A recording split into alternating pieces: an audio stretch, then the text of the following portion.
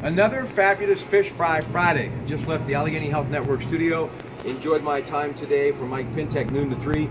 More on this $1.3 trillion spending allowance to keep the government open tomorrow morning at 5 a.m. And don't forget, Tuesday night at 9 o'clock on the Discontinued Pittsburgh Newsline, Congressman Keith Rothfus, who voted against it, will join me on Rob Pratte Tuesday night. But the big story for those who love basketball, 93.7 The Fan, KDKA Radio, they're all talking about this time of year and now heading towards the Elite Eight. We had the first half of the Sweet 16 get settled last night, and coming up today, West Virginia and Villanova. That tips off at 727 on TBS. Big question is, can West Virginia's defense continue to be tough enough to get past the high-powered Wildcats of Villanova, especially when it comes from the three-point line. The Wildcats are amazing in all aspects of the game, especially scoring. They average 87 points a game. Then you've got Clemson and Kansas. The Tigers allowed just 66 points per game and had a fantastic season blocking shots. And they don't turn the ball over. They don't get in foul trouble. That game, Clemson and Kansas, 7:07 tonight. CBS, KDK TV 2.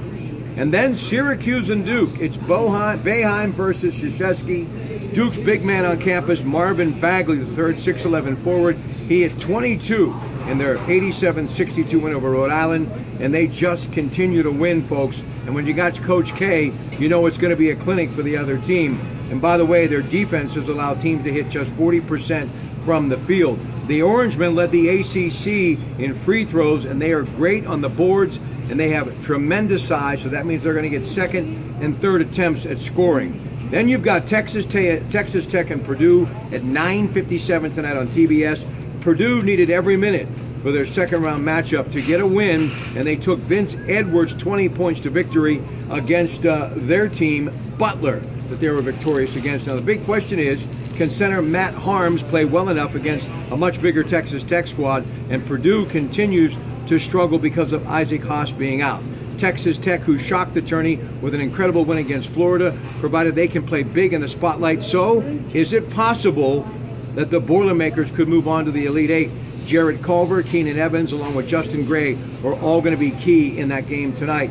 And that game is Texas Tech and Purdue, the last game of the Sweet 16 tonight to see who moves on to the Elite Eight. 9:57 TBS, and of course, tomorrow morning in sports we'll have everything for you beginning at 5:15 on Rob Pratte Saturday, brought to you by Kuhn's Quality Foods, and then we talk about it all on the Kuhn's Market Black and Gold Sunday Show at 11. Stop in for a great haddock fish sandwich, all Lent, all Lenten season long every Friday and Wednesdays at all nine of your neighborhood Kuhn's markets. How do you find the one nearest you, like the one here in Moon Township? You click on Kuhn'sMarket.com. Good afternoon.